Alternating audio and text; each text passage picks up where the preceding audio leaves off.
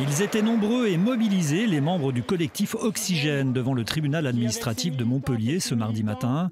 C'est le quatrième recours qu'ils déposent contre le projet de Décathlon, un village commercial de plus de 24 hectares aux portes de Montpellier, à Saint-Clément-de-Rivière.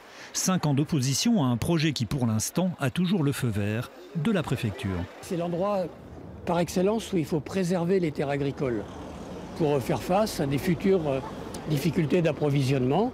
Donc encore plus qu'il y a cinq ans, euh, on dit que ce projet ne doit pas se faire, qu'il est impensable. Le collectif demande l'annulation de l'arrêté préfectoral autorisant le projet au titre de la loi sur l'eau.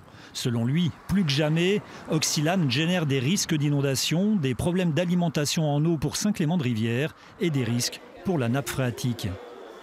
Ce dossier il est obsolète aujourd'hui, il ne prend absolument pas en compte euh, la tendance climatique actuelle.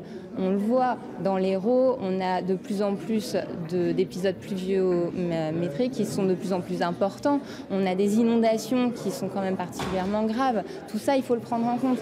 À l'audience, pour la plus grande satisfaction de l'avocate Décathlon, le rapporteur public a rejeté l'ensemble des conclusions de l'association progressivement, en fait, toutes les décisions ont été attaquées et progressivement, en fait, à l'exception d'une censure partielle qui a été corrigée, les juridictions, que ce soit les TA, euh, les cours administratifs d'appel et euh, bientôt le Conseil d'État, ont validé le projet. Donc ça va bien dans le sens du projet et on, est content.